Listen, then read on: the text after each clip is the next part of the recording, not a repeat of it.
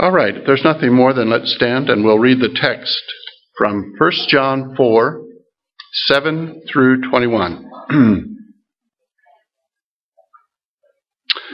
Beloved, let us love one another, for love is of God, and everyone who loves is born of God and knows God.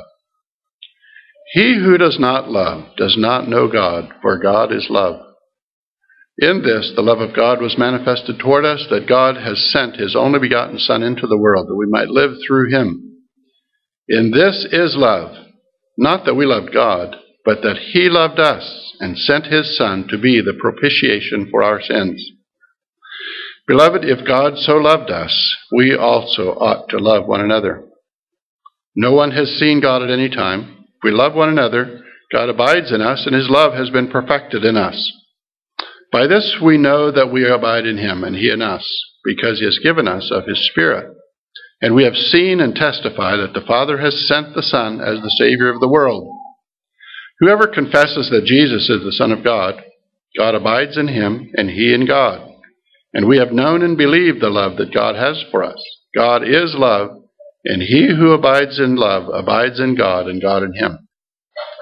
Love has been perfected among us in this that we may have boldness in the day of judgment, because as he is, so are we in this world. There is no fear in love, but perfect love casts out fear, because fear involves torment. But he who fears has not been made perfect in love. We love him because he first loved us. If someone says, I love God and hates his brother, he is a liar. For he who does not love his brother whom he has seen, how can he love God whom he has not seen? And this is the commandment that we have from him that he who loves God must love his brother also. Let's pray.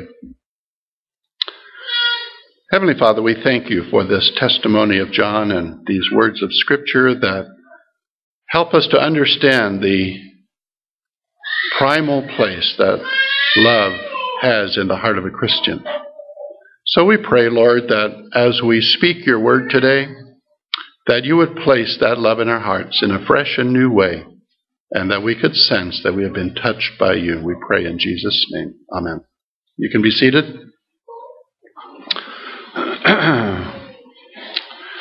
I was uh, speaking about how um, deeply we feel the loss of those that we have loved. It's part of the price that we pay for having loved. But one of the things that Kay and I experienced when we first came to Shaw is, and I believe this is true, it's one of the testimonies that we had when we were living here homeless the first year and couldn't leave and it was like we couldn't leave because the spirit wouldn't allow us to leave. But but what we were experiencing was we were experiencing the love of God through the people of the community. It was so ab- uh, obvious. It was so absolutely true People loved us and had no reason to. They didn't know us, you know. And yet we could tell that they loved us deeply, that they cared about us. People like Betty Gilson, for example. She really cared about us. She wanted us to stay on Shaw, and she wanted us to have a place.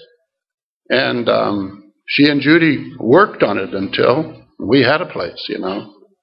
But but it was many others. And um, because of it, of course, we came to love them, the people on Shaw. And one of the prices that you pay for having cared deeply and loved people deeply is that you miss them terribly when they go. It's a sense of loss that's hard to explain. It's, you know, we talk about the stages of grief and the different things that people go through, but that's the price of having loved deeply. And that's really what love is. Love is caring very deeply.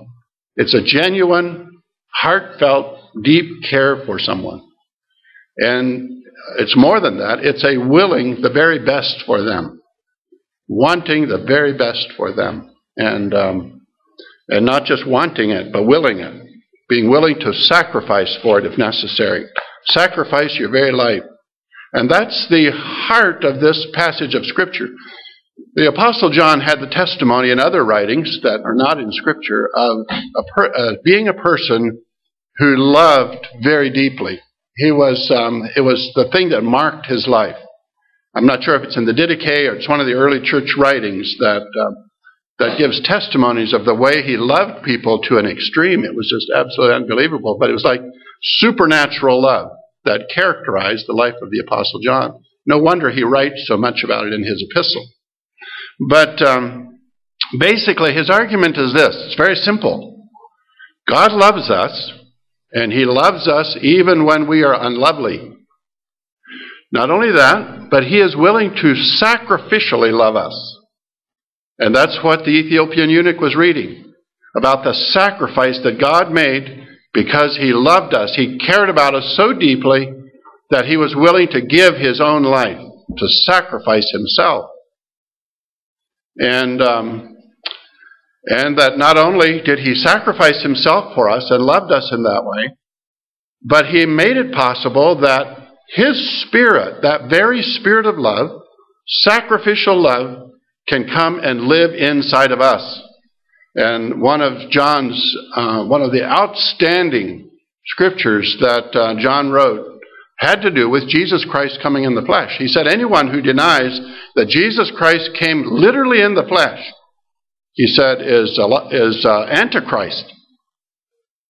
And um, because that's very important. It's, it's important not only for the fact that he was human, which he needed to be because the high priest is taken from among the people. He has to be one of us. How can he intercede for us if he's not one of us?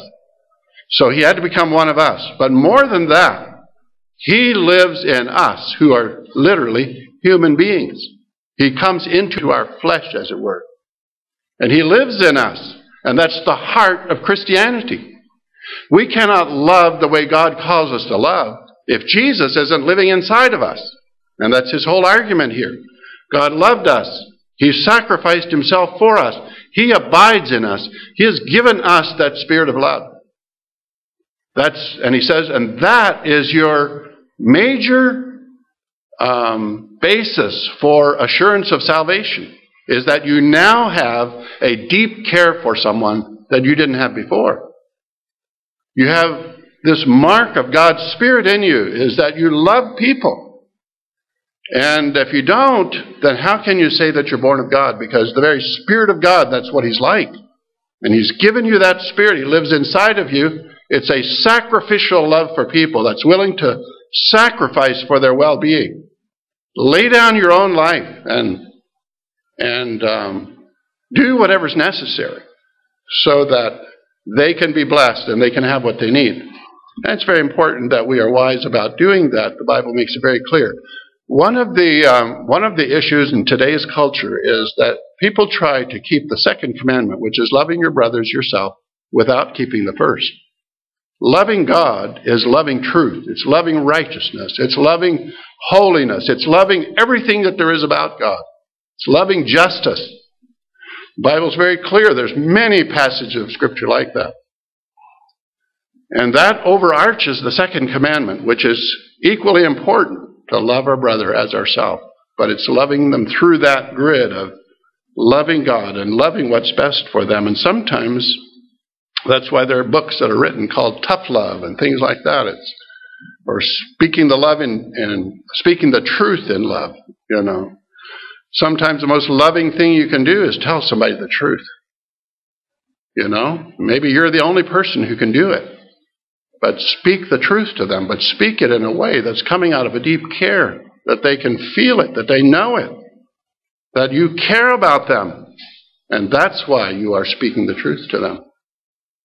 So, um, so this thing about loving can get very complex in a sense, and it's not possible to do it outside of the Spirit of Christ. We can't have that supernatural, sacrificial love without having Christ living inside of us.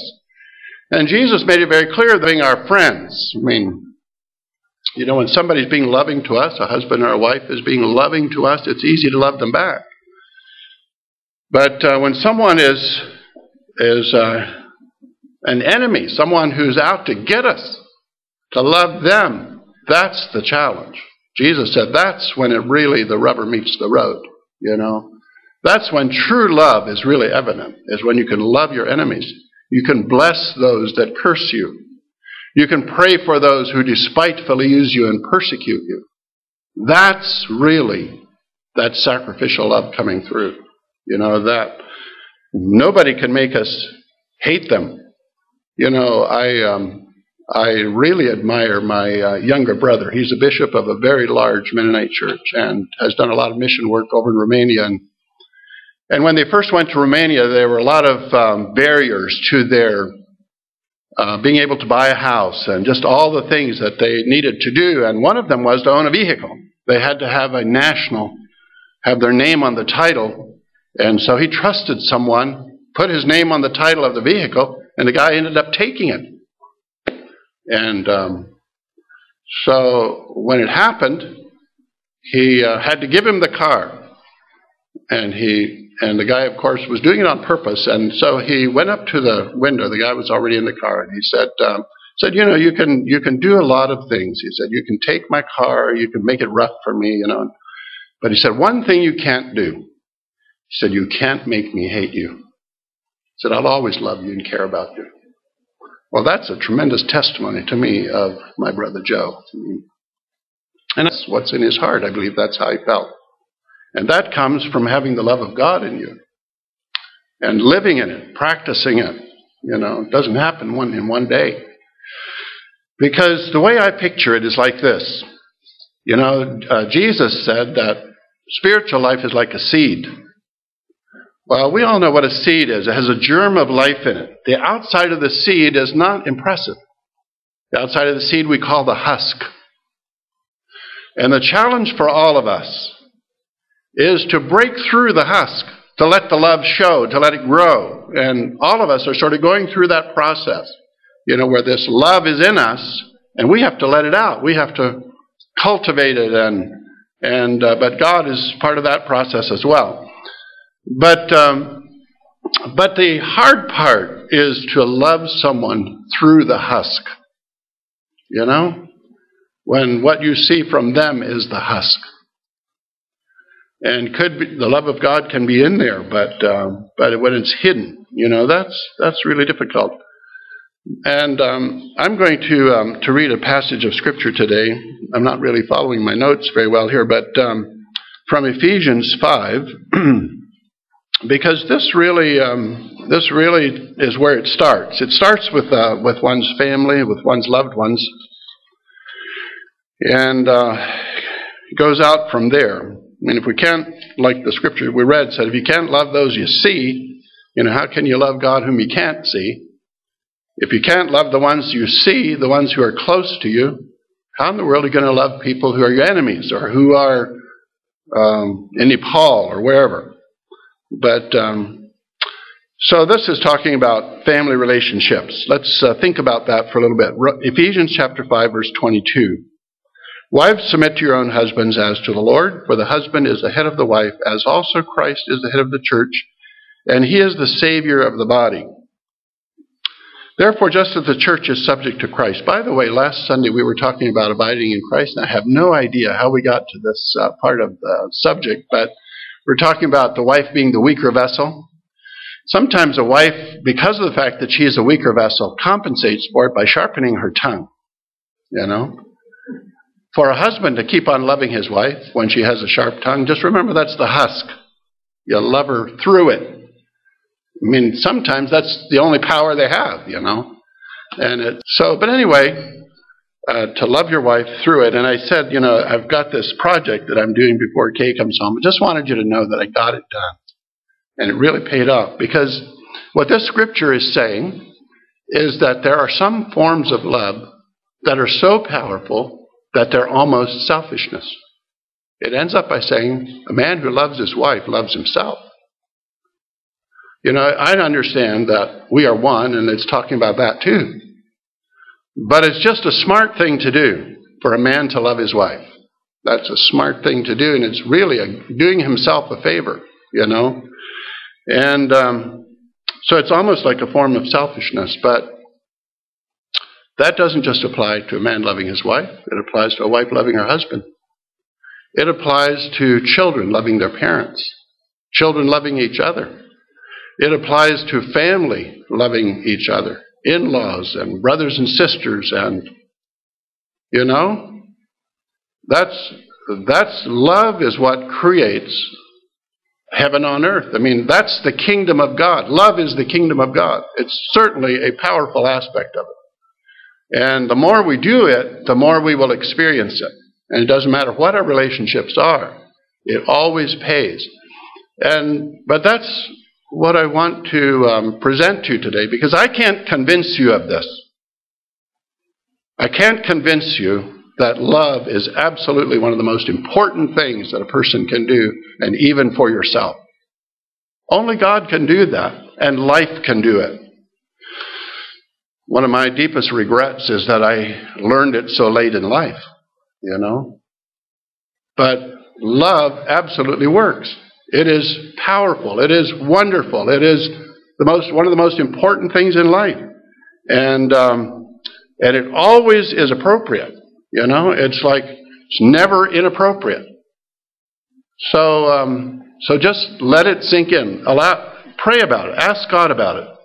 Ask God to break you out of that husk, you know, where love can really uh, be shown from your life and bless you because of it. But let me finish reading this. Therefore, just as the church is subject to Christ, so let the wives be to their own husbands in everything. Husbands, love your wives, just as Christ also loved the church and gave himself for it, that he might sanctify and cleanse it with the washing of water by the word, that he might present it to himself a glorious church, not having spot or wrinkle or any such thing, but that it should be holy and without blemish. So husbands ought to love their own wives as their own bodies. He who loves his wife loves himself. No one ever hated his own flesh, but nourishes and cherishes it, just as the Lord does the church. For we are members of his body, of his. For this reason, a man shall leave his father and mother and be joined to his wife, and the two shall become one flesh. This is a great mystery, but I speak concerning Christ and the church. Nevertheless, let each of you in particular so love his own wife as himself, and let the wife see that she respects her husband. Uh, the reason I chose to, to read this is because the Apostle Paul is saying exactly the same thing that John is saying in his epistle. That this is the fruit of God's Spirit coming into our life. This is the fruit of God loving us. It's about Jesus loving the church. You know, and that's what he's saying is that's the primary thing I'm saying in all of this. Husbands, love your wives. That's Christ loving the church and giving himself for it, sacrificially laying down his life for it. And that's the spirit that comes into us when we become a Christian. And if we're not living it out, then it's still encased in that husk of the, it's just the germ of it is there. And that needs to break out, needs to grow. We need to cultivate it. You know, it's like um, we are workers together with God in this. And it's not just up to us because He's the one who makes it happen. You all know that when you cultivate your garden, only God can make it grow. You can't make it grow. He does that. He does His part, but we do our part. We cultivate it. And um, so I would just encourage you to um, start at home, but let your love go out to wherever God would have it to go. You know, care about people, care about things, and and let your heart go out because it's really what it's about. It's about what's down in your heart and coming out. But um, but this is such a um, such a unique passage. Uh, Paul, I mean John says, love is identified not by the fact that we love God, but the fact that He loves us. In other words, it starts with Him, and um, and that's true in the home. It starts with the husband, it starts with the father. That is absolutely where the burden of responsibility rests for having love in the home. If fathers don't love their wives and their children, um, how in the world are is it supposed to um, grow and develop? But even if that weren't true, it starts with the person who's loving. I mean, all of us have the responsibility. But Scripture, to follow the pattern of God, which is in Scripture, is that He loves us first, and He loves us even when we don't deserve it. It's a choice that He makes. It says that He loved us even when we were yet sinners. Christ loved us in, in uh, Romans chapter 5. and gave his life for us, laid his life down for us. So it's not about deserving it or earning it. It's about a choice that we as men make. And, and I think it comes to each one of us, it's like that as well. It's a choice that we make. And we have to come to a decision. It, does this really work? Is this really the way I want to live? Is this really important to me? And make the decision. You know, this is how I'm going to live. I feel like Joshua myself, you know, when I say, as for me and my house, this is the way we're going to live. This is the way I'm going to live. And I will miss it, I know that. But that's my heart. That's the intention I have. Is that's how I'm going to live, no matter what. And um, by the grace of God and by the power of the Holy Spirit, that's the way it's going to be.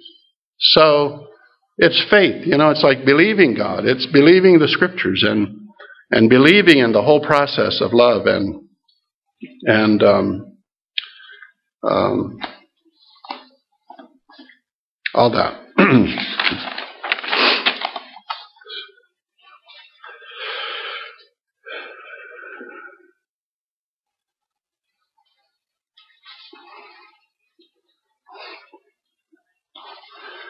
One of the um, things that came to me as I was meditating on this passage is the importance of maintaining a heart that is tender.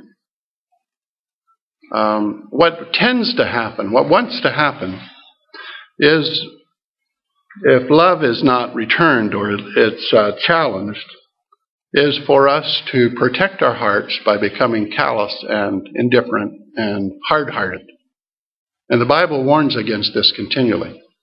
And I'll tell you something about that that I discovered a number of years ago that has been a tremendous help to me. And that is that when you close your heart against a person, you're also closing your heart against God. Because the very, it's the very same avenue that you interact with people is also the same avenue that you interact with God. So when you're closing off your heart, your heart is closed. And it's closed to God as well as it is to people. Don't do it. Allow your heart to be hurt if necessary, but keep it tender, keep it open. Always uh, never allow, like Joe said, you know, you can't make me hate you. What he's really saying is, my heart's always going to be open, you know. It's the way I live, it's the way I choose to live. It has nothing to do with you. That's my choice. You can't make me have a hard heart nor can anyone else make you have a hard heart. It's a choice that we make. Either we're going to stay vulnerable and soft and tender, or we'll get hard hearted, and it's our own choice. But God is the one who helps us, of course. But I think this is very, very important. So it's um, cultivating your garden of love. I'd like to um, close with a scripture in Colossians. There's just, of course, so much in Scripture about uh, about this subject. You could go almost anywhere, but Colossians chapter 3, verse 12. And this is just sort of jumping in in a long um, passage of Scripture, but it says, Therefore, as the elect of God, holy and beloved. In other words, you are sanctified by the Spirit of God and you are loved by God. And, you know, that's, that's just such an important aspect of loving. How can we love if we don't accept the love of God? You know, that we are loved by God. That's um, God abiding in us. You know, that we are loved by God. We are accepted by Him. He has come and made His home in us, and He loves us.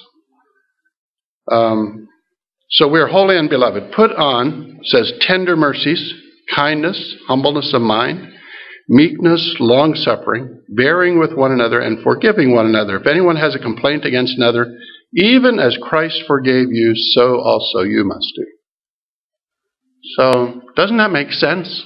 You know, if Jesus forgives me and loves me the way he does, shouldn't I forgive others and love them?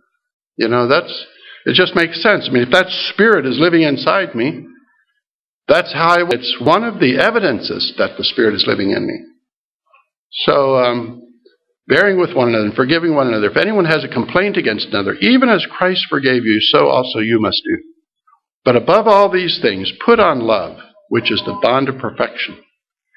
And let the peace of God rule in your hearts, to which also you were called in one body, and be thankful.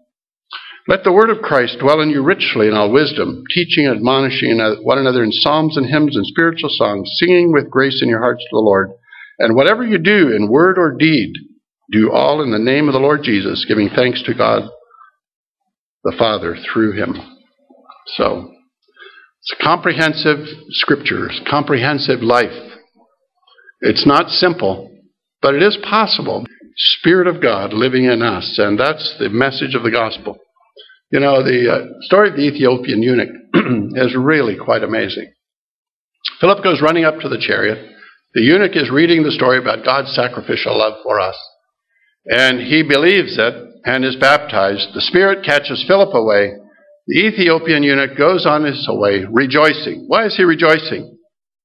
Because his heart has received the love of God. His heart has received the message. It's like he knows that he is loved. He knows that God is with him. And so he goes home. He doesn't have the New Testament. We talked about that last Sunday. And I believe it's the beginning of the great Coptic church in the country of Ethiopia. And all he had was he had this experience that Philip came and baptized him and told him about the love of God and explained the scripture to him. And he was converted, and the Spirit of God came and lived inside of him.